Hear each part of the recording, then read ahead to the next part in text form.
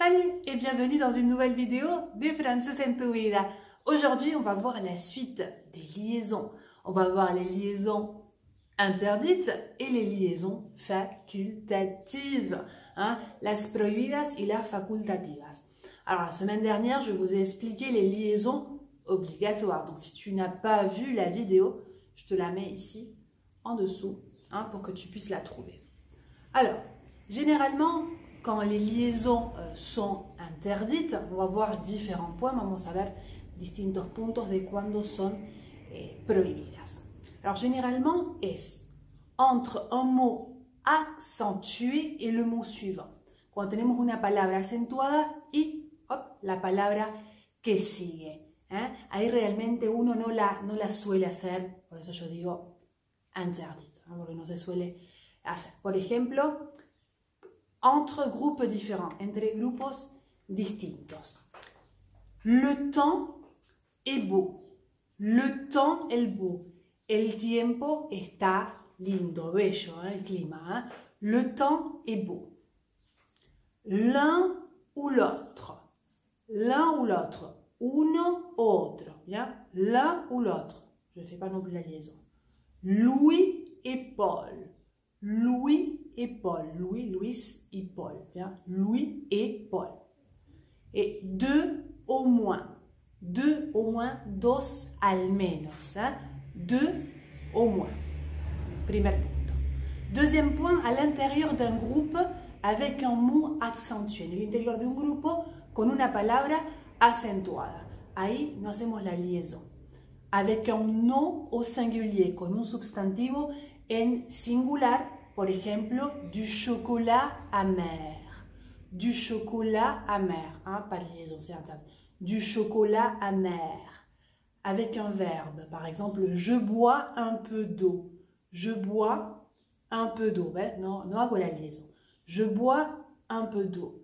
Il prend un parapluie. Il agarra un paraguas. Il prend un parapluie.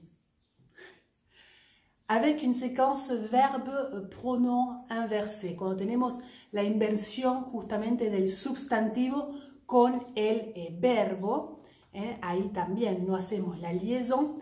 Por ejemplo, va-t-on accepter? Shadow, il pleure. Pourquoi tu pleures? Bon. Va-t-on accepter? Va-t-on accepter? Vamos a aceptar. Pas de liaison. Prends-en assez.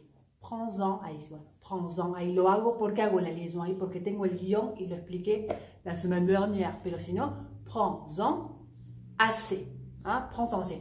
Agarra bastante. Hein? Prends-en assez. Par exemple, je sais pas, des, des vêtements, on part en vacances. Ah oui, prends-en assez. ¿Ça va jusqu'à là? Bien. Hay que también decir un puntito importante que la liaison es eh, imposible cuando tenemos las palabras, por ejemplo, tenemos et, le conector i, et, et, là on ne fait pas la liaison, selon, según, selon lui, selon, ah, ah, tampoco hacemos la liaison, y sino, con el sino, tampoco. Entonces ya cuando ves esas tres palabras, ah, pas de liaison.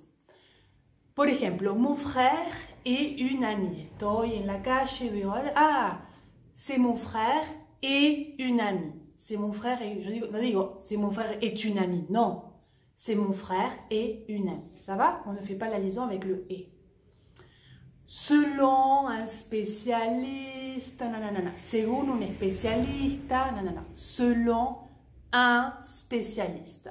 Pas de liaison parce que j'ai dit qu'on ne fait pas la liaison entre et, selon et sinon. Fantastique. Ensuite, on a quand on a les adverbes polysyllabiques et euh, les interrogatifs, hein, con los interrogativos y eh, justamente los adverbios polysyllabiques, syllabiques, c'est très compliqué tout ça, on ne fait pas la liaison. Par exemple, quand on a les adverbes polysyllabiques, c'est vraiment intéressant. Vraiment intéressant. Vraiment intéressant. Je ne dis pas vraiment intéressant. Non, pas de liaison. Hein. Et quand on a une interrogation, quand irez-vous à Paris? Quand irez-vous à Paris? Cuando irá usted a Paris A Paris. Paris. Ahí tampoco. Bien? Interrogation. Pas de liaison. et dans les adverbes euh, polysyllabiques non plus. Ça va jusqu'à là? Bien, espero que sí, que me Ensuite, on a le cas quand on a des mots qui commencent par un H aspiré. Hein? Tenemos la H aspirada, así se llama, bien. Ahí generalmente no hago la liaison. Digo generalmente porque hay, bueno, casos particulares, excepciones.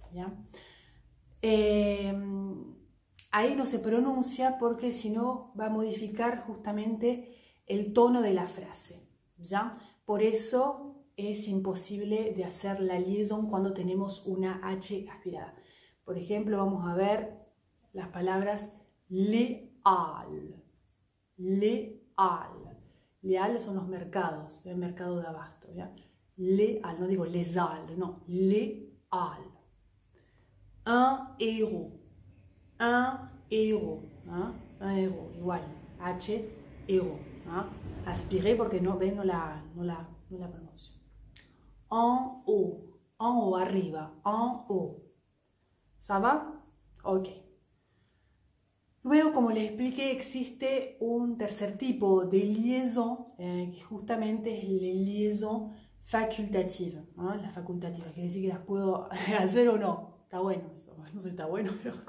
Alors, par exemple, alors, esas, ¿por qué las puedo hacer?